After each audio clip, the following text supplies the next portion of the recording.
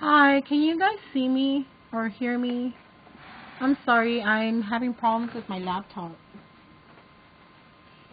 So I had to resort to a smaller source, uh, which is my my iPod.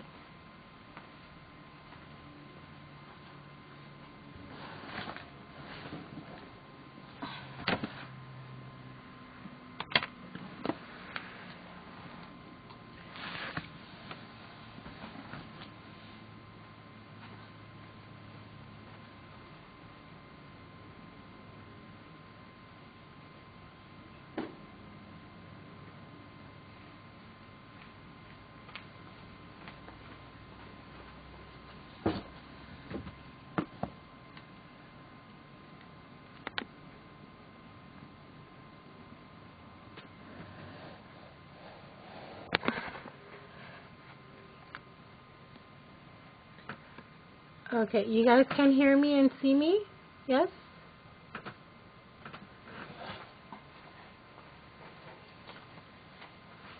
Okay, only downfall from here is I won't be able to see the chat because um of the position of the, the camera.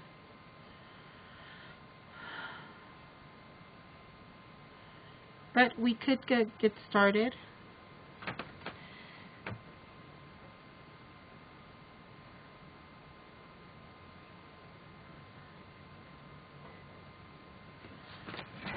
Okay, let me just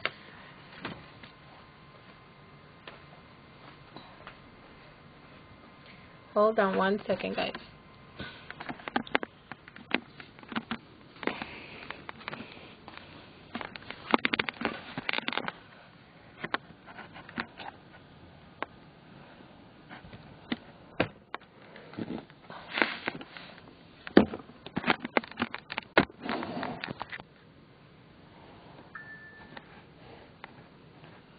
Okay, I think this angle is a little bit better, right?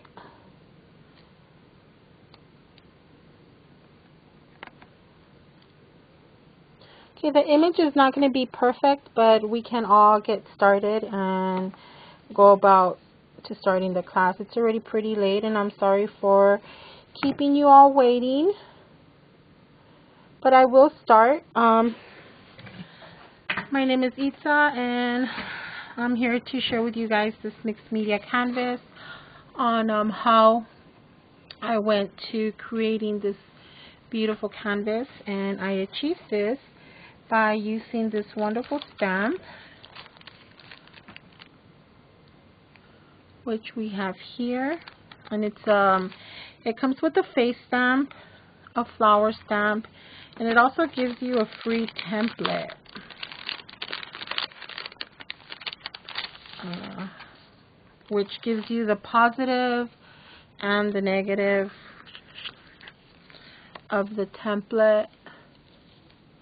So you guys can use this with um, modeling paste. You can um, use it with color sprays, get really cool um, looks without necessarily using the the stamp.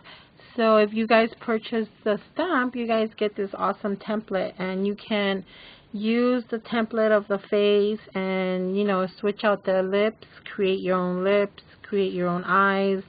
So it's really fun. Um, gives you an option if you want to explore drawing your own faces. Okay so here I started by stamping my paper and it, this is just basic good cardstock. And I stamped it with my face um, the only thing that I did was I removed um, this nose line here. I removed part of the bottom of the lip and this part here. And all you do is, you know, you ink it up and with a cloth or something you wipe off the areas that you don't want to be shown. Okay, so it's very simple. And I stamped my image here once and I also went ahead and finished uh, rounding off her head with a pencil and kind of gave her some shoulders just so that I know um, how and where I need to cut. So this always um, is very helpful to do that.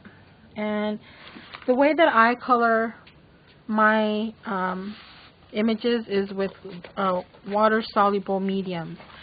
Now, we can discuss mediums for a few minutes, um, at least the kind of mediums that I'm going to be using. And mixed media is basically, um, for those who don't know, um, you guys have probably been doing mixed media and you just didn't know that that's what you were doing. Uh, mixed media is a mixture of different mediums to create a piece of art. You know, um, whether it's a journal or a book cover or a canvas or whatnot, it's just um, a mixture of different mediums that you use to create a certain look. Um, you can be altering a box and using, you know, modeling paste and using uh, color sprays and using medium gel. That is mixed media right there. It's just a mixed media altered box. You know, so it's all just knowing the lingo. Uh, but it's very basic, very simple. It can be as complex as you want, as simple as you want. So it's just basically what your needs are and what your project is going to look like. Um, so if you guys have any questions, we can address those questions um, now. So this is modeling paste. My favorite um, brand to use is Liquitex Basics. This is modeling paste and it comes in this tube. Modeling paste is used to give you a rise or a three-dimensional, um, I guess, look. Whether it's using stencils or using it by itself, it gives you great texture and dimension. So modeling paste is good for that. Um, a lot of these mediums can be uh, given color uh, just by adding acrylic paint to it. You can change the color of your modeling uh, paste. So just keep in mind that the modeling paste is white, so whenever you add color to white, um, it tends to turn into a pastel, more or less. So keep that in mind, but you can easily mix in some color to your modeling paste. Um, next is gesso. Now, a lot of people have asked me what is gesso.